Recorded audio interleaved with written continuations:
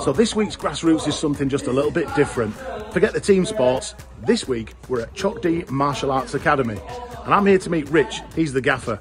He's got a bit of a history as well, so I'm not going to be starting anything. You can believe that. Let's go and take a look around.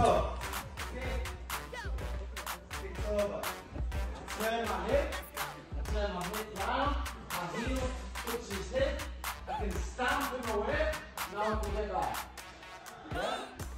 Go with the other leg. Okay. Goes back over.